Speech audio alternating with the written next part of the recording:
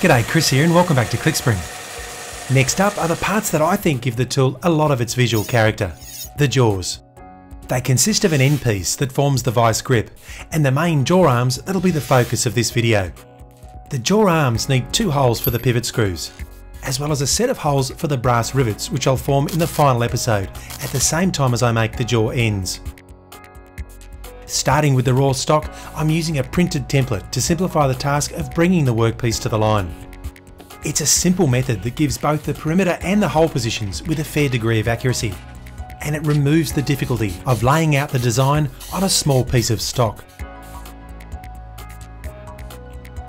Now if a good oil-based glue is used, the grip on the part is usually strong enough to see the template stay in place all through the forming process although even an oil-based glue will eventually lift off the surface if it experiences too much heat.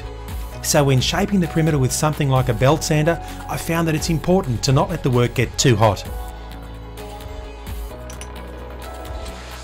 With the template firmly in place, I can drop in those pivot holes using a wiggler to pick up the hole positions.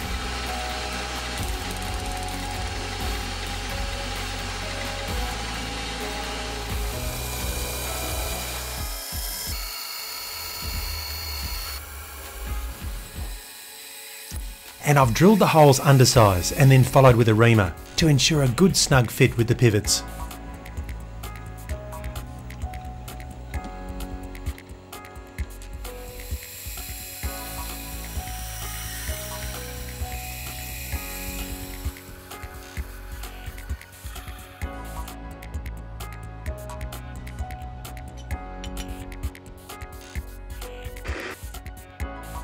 Next, I started work on the perimeter, and by the looks of the blade, I put the scroll saw away fully tensioned, and the blade has popped as it's cooled down.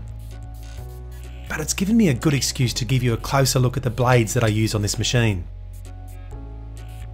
They're an excellent all-purpose metal cutting blade for this saw, and are particularly effective at cutting brass. They can easily cut through 5mm brass sheet without issue, and only really start to struggle as the stock approaches a thickness of about 10mm.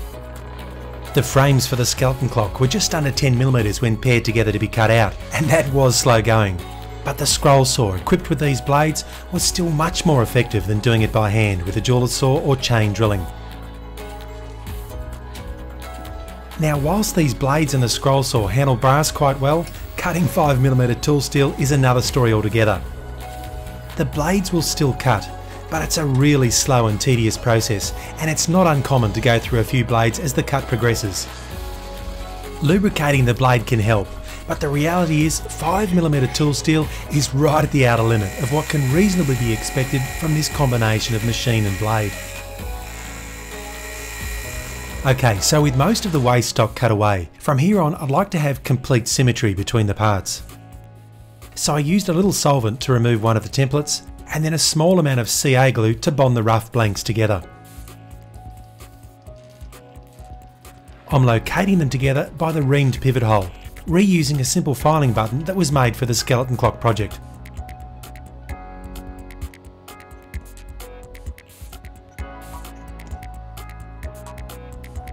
The superglue will hold them securely together for the rest of the shaving process and with them paired together I can take care of this straight section on the mill much faster than by using the scroll saw.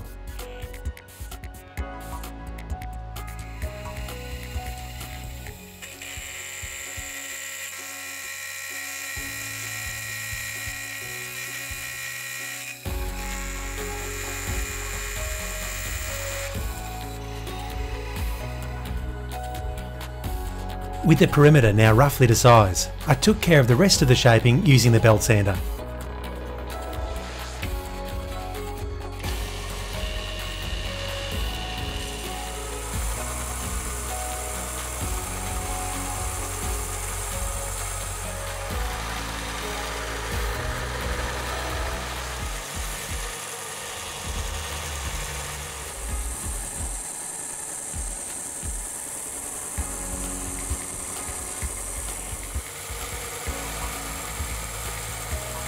And you can see what I mean about the heat causing the template to lift.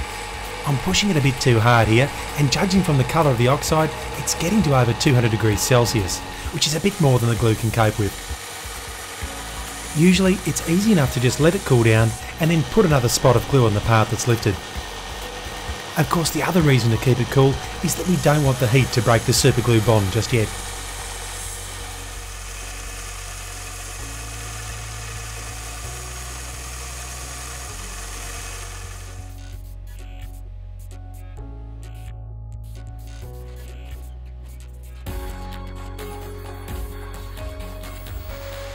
So with the perimeter complete, I can remove the remaining template and then soak the jaws apart by leaving them immersed in acetone. The time taken to dissolve the acetone depends on how much glue was used. In this case, it was just over an hour. A closer inspection shows that all of that surfacing has left a decent burr on the perimeter. So I used this fine oilstone to tidy them up. It's less aggressive than using files, and I find that it leaves me with a much more presentable finish.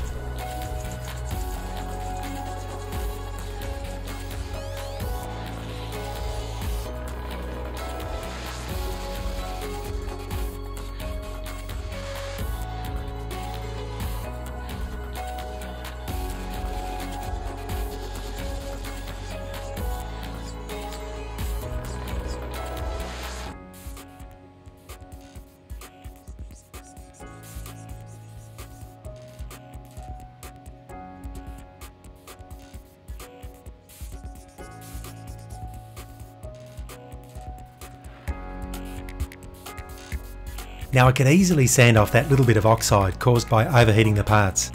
But there's something to be said for keeping the grained finish from the raw stock.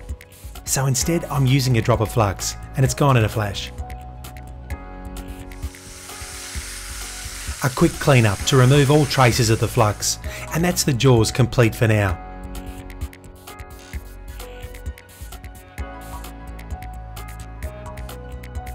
In the next and final video of this hand vise series, I'll cover the fabrication of the jaw ends and I'll also randomly select the lucky patron who gets to keep the tool.